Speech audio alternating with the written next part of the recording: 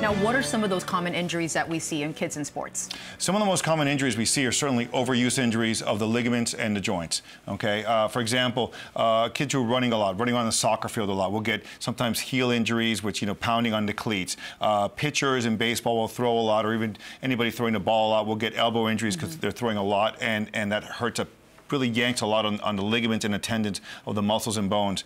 Uh, so those are kind of more common injuries. The acute injuries, injuries happen right away. Okay. Of course, those sprains, uh, those bruises, contusions we call bruises. Now, sprains in kids, one of the misnomers is that, you know, a kid can really have a sprain and, and, and get on with it. When you have a kid who's growing, especially under the age of 15 or 16, they have growth plates. Most, right. most women or most girls uh, will start closing their growth plates by 13 or 14 years of age, maybe 15. Uh, boys about 16, 17 years of age.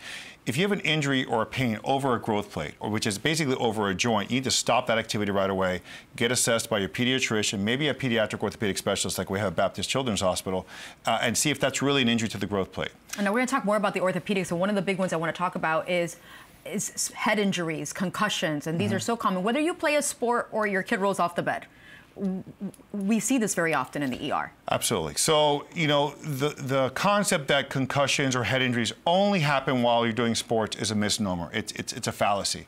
Uh, as recently as yesterday, uh, I was treating a patient who had a, a, a head injury playing tennis. Mm -hmm. uh, how do you do that? Well, the tennis racket was flying out of the, the, the doubles partner's hands, hit her in the head, oh and, and she has a legitimate, uh, you know, mild concussion. Right. So, but rolling off the bed, uh, you know, uh, running around, slipping on the tile floor by the pool or by the pool and hitting themselves on the head. Uh, we've seen certainly kids uh, in the playground who are, are get, you know, are drinking at the water fountain and get hit with a basketball in the back of the head, and then they get, you know, kind of dizzy and, and have headaches. Those are all indications for for getting assessed by the right medical professional in the emergency room setting or urgent care setting or even your pediatrician and, and doing it sooner than later.